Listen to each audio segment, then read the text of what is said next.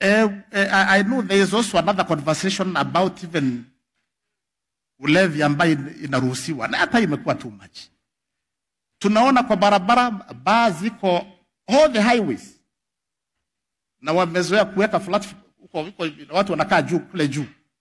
Sasa unapata mwanaume anakaa kwa pale weightlifting from Friday to Sunday, just weightlifting, weightlifting. I mean, we can't continue this. Therefore, this is a conversation, Your Excellency, which must continue. This drunkenness, lazima tuta, tuta, tuta, tuta, tuta, tutaacha. Um, otherwise, um, mine is usual and may God bless you. Lakini Your Excellency, niruhusu ni introduce huyu uh, huyu uh, DIG is a, a day old and um, he has instructions to hit the ground running. Come, come, Bwana Kanja.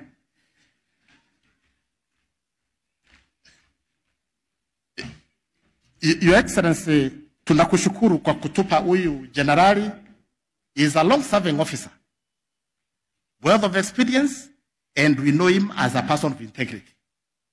Kwanza hiyo vita ya kupigana na pombe, public safety iko kwake. Hii ni siku yake ya, ya, ya, ya, is it ya pili? So can you, can you, a commitment, your commitment, personal commitment. Uh, Your Excellency, our Deputy President, Rigathi Gachagua, uh, all the governors present, members of Parliament and National Assembly, MCAs, the leadership of the National Police Service headed by the IG, and all the officers present here, uh, good afternoon. Uh, to start with, uh, my name is Douglas Kanja Kirocho, formerly the Commandant General Service Unit, and right now the Deputy Inspector General in charge of the Kenya Police Service. Uh, first of all, is uh, to, appreciate, to appreciate our President for finding uh, favor in me and appointing me the Deputy Inspector General. I'm happy about that.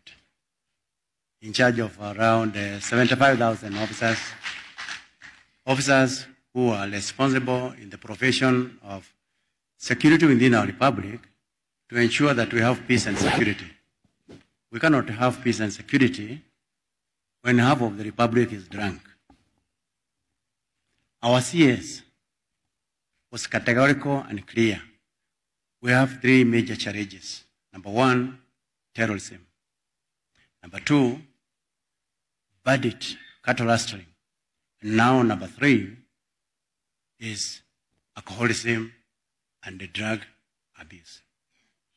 The first two have been dealing with terrorism, cattle rustling, and bandits. That have actually been my field of specialization. Remember, I was the operations commander in Dusit when the Republic was attacked. I went there, I worked for 19 hours together with others, and we were successful. We ensured that we liquidated the terrorists, and we were able to save 1,200 Kenyans and other nationalities who are, are trapped in the, in the Dusit uh, buildings. I've been deployed in burning down there when there were real troubles uh, of, uh, in the, I mean, of uh, terrorism. Right now, Lamu area, coastal region are quiet. Northeastern is quiet. We are operating in North Rift right now, dealing with bandits. And I want to assure you, uh, Your Excellency, that uh, it's just a matter of time. That area will be quiet, like any other areas within this republic. Now, I'm going to deal now with the, the issues of drugs, alcoholism. And uh, for your information, I happen to come from this county. I've been born here, brought up here, educated in this county. My people are here. My family, my friends, and everybody else is here. I am pained by what, what we are seeing here. My small shopping center, half of them are drunks. So it's a big challenge, but we are equal to the task.